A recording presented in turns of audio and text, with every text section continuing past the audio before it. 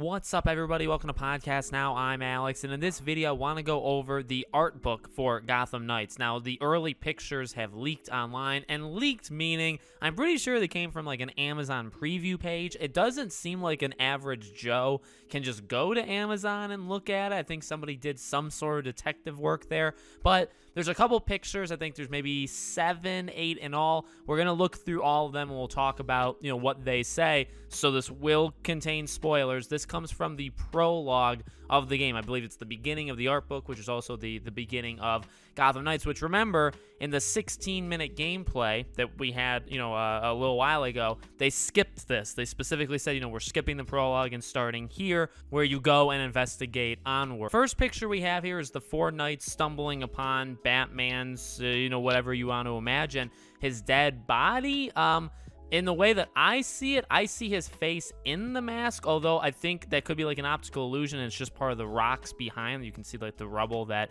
uh, Red Hood is standing on. It could just be that. Not 100% sure because I, I did see people mentioning in the comments, like, are they going to go the route of Batman's body or Bruce Wayne's body wasn't found, right? There was nothing there. So they could go down that route, in which case, again, this is more like an optical illusion. But it does seem like they're going to go to the, you know, destruction site and find Batman's cowl, right? And then they're going to go from there. Second picture is Batgirl at her dad, obviously Gordon's, either a grave site, like tombstone slash, you know, just a memorial that they, they placed him. I think there's a better picture of this later on, but this is, uh, you know, just where it's kind of the full screen. Um, then we have a, a very interesting one, and this is where you obviously get the reporter talking about explosion at Wayne Manor, GCPD reporting uh, casualties, billionaire Bruce Wayne dead. Now, again, that's leading people to believe that he's he dies as Bruce Wayne. He doesn't die as Batman. Uh, so that's an interesting one. We'll have to see what actually ends up happening there.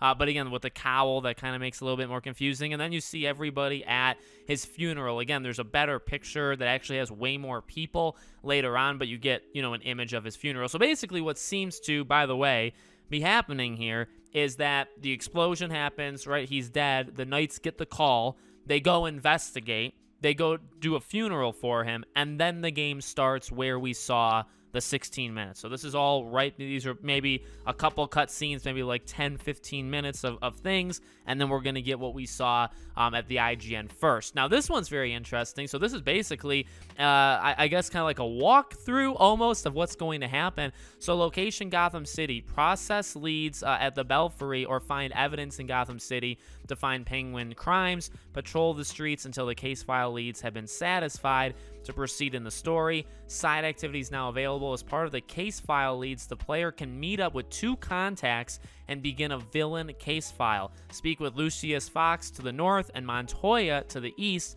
See the villain case files section for more information on the villain story arc. So this is how you're going to get the side things like Mr. Freeze, you know, etc., etc.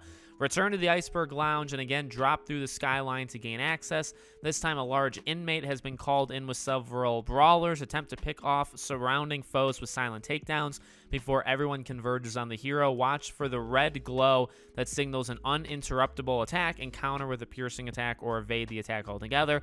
Once the guards are defeated, join the penguin in his office.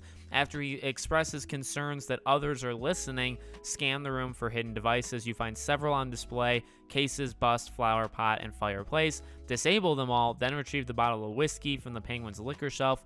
With the ability to speak freely, he directs you to the Powers Club. So he wasn't kidding, you know, when he's talking about the Court of Owls, and you oh, it's a myth, right? It's not real. And he's like, no, you know, it's pretty real. So that's that same scene, actually, that scene that we see, and I believe that's the Court of Owls trailer. That's what it's called, uh, which I show quite often, you know, in these videos. That is probably very early on in the game, the first time I'd imagine that you meet Penguin. Then you have an interesting one. So on the left, it looks like this is where the explosion happened. I guess maybe I'm reading into that. And then on the right, you get the entire Batman's last case. You get the map.